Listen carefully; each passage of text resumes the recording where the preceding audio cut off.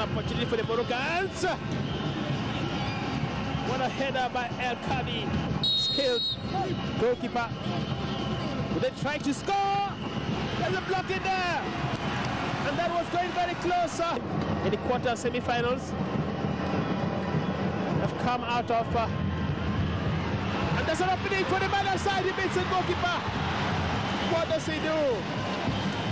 Musa Kone maintain the pressure.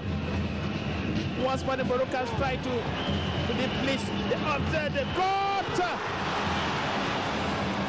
Once more it is Musabalo, And now the Malians can pick up position. That is an opportunity. What an intelligent play coming in there for Malians. That will open in inside the box for the Moroccan side.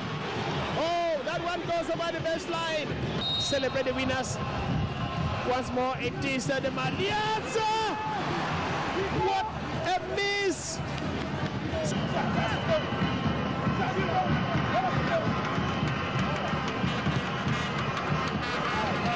Once more from inside the box.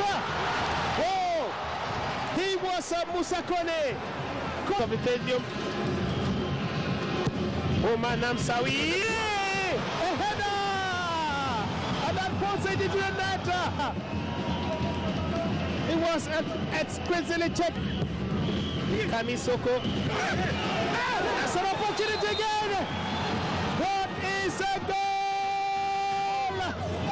A goal! And referees, he pulled out the yellow card and gave to goalkeeper South African Nations Championship.